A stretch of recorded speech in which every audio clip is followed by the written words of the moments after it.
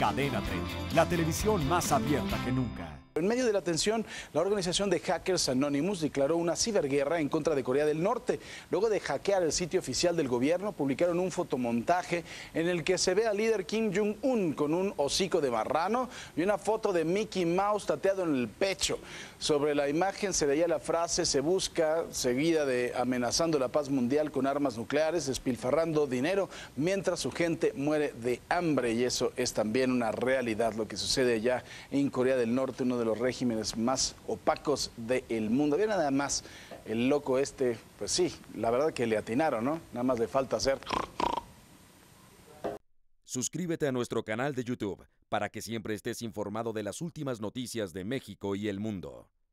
Empieza ahora mismo dándole clic a estos videos.